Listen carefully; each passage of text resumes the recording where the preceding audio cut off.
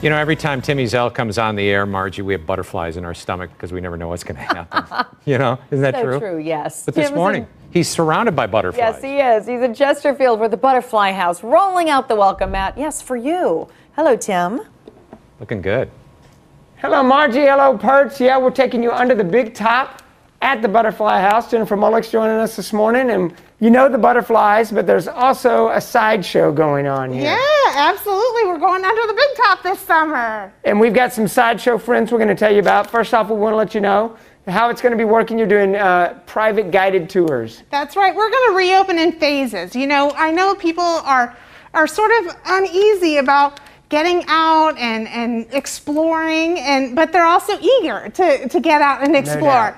and so we are sort of reopening in phases. So we're going to start out with guided tours, initially for members of the Missouri Botanical Garden starting next week. And so you can um, reserve your tickets for guided tours. Uh, you can call the Butterfly House starting at 9 o'clock this morning, um, calling the Butterfly House, and then we'll um, do the guided tours um, for groups of uh, nine or less is, is the small guided tours. And then they'll open up for uh, general public um, the following week, and that'll be for two weeks. And then um, we'll ease into time ticketing um, starting July 7th. But we're going to be under the big top this summer. So Sideshow spectacular. Yeah. You've got a friend we're about to meet. Which one are we about to meet? Well, you know, so the bottomless pit, so home of a thousand mouths, and you have your popcorn, right? I have some popcorn. Okay, but I'm going to ask you to share. Okay.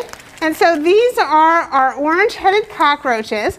And so for a special treat this morning, they're going to get some popcorn. And so you can Oh, see they really do love popcorn. I'll, sh- I'll share the wealth over here. Here you go, guys. Yeah, and so this is a special treat. You can see that they really do love it for breakfast here.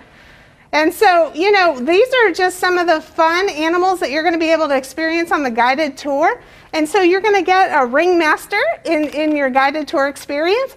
You're going to go through the different stages of the of the under the big top, and you'll get to go into the conservatory and get a butterfly release. It's going to be so much fun, Oh, guys. yeah. You got to check it out. Make sure you sign up for your chance to check out the butterflies and the roaches. We'll have more coming up right here on Fox 2 News in the morning.